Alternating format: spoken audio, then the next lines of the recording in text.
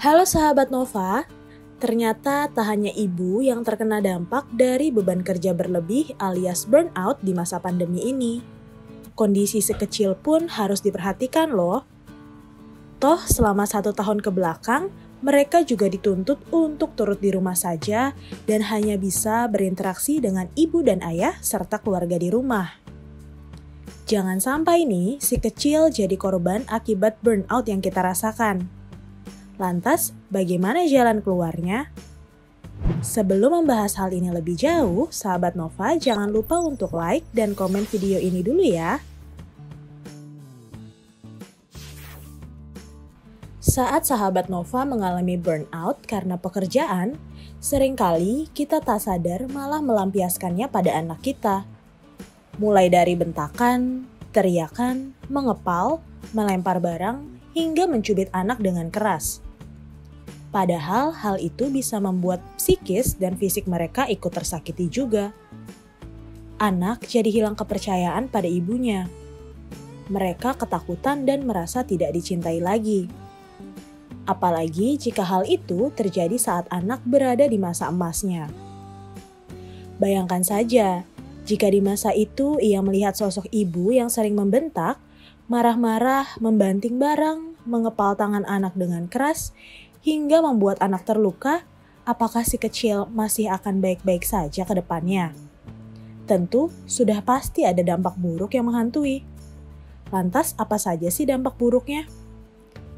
Anak bisa menjadi murung, enggan makan, menolak untuk disentuh, lebih nyaman dengan ayah, kakek nenek, atau susternya.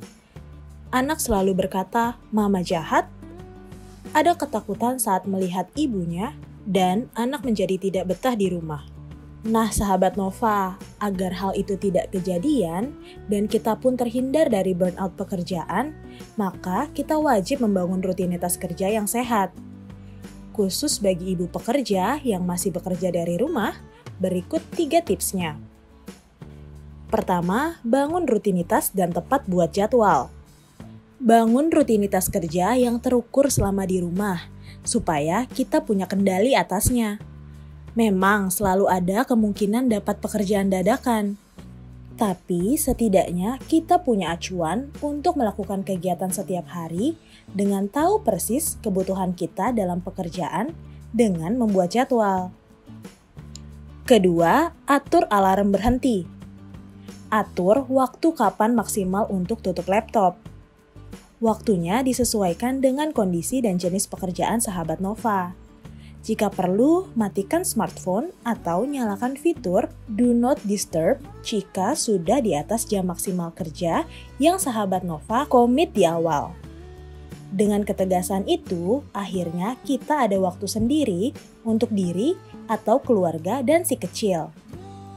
Tapi sahabat Nova juga wajib meningkatkan kesadaran akan menghargai waktu sesama rekan kerja ya. Ketiga, cuti atau jeda sejenak. Cuti bisa jadi solusi saat kita sama sekali tak punya waktu untuk diri sendiri. Dengan cuti, kita bisa menenangkan diri, refreshing, termasuk jadi sarana meningkatkan performa saat kembali bekerja. Sehingga kita pun tidak akan mengalami burnout yang bisa berdampak buruk pada kesehatan mental si kecil. Ingat, kita ini manusia yang hidup di banyak dimensi, bukan hanya di dimensi kantor saja. Kita punya dimensi keluarga, pribadi, dan juga spiritual. Pada akhirnya, kita juga butuh keseimbangan antara pekerjaan dan kehidupan keluarga kita. Jadi, jangan enggak enak untuk ambil cuti ya. Nah, itu tadi sahabat Nova, tips untuk kita agar tidak mengalami burnout dalam pekerjaan yang dampaknya bisa berpengaruh buruk bagi kesehatan mental si kecil. Sahabat Nova, jangan lupa untuk like, komen, dan subscribe YouTube channel Nova, serta nyalakan lonceng notifikasinya agar tak ketinggalan video menarik dan edukatif lainnya ya.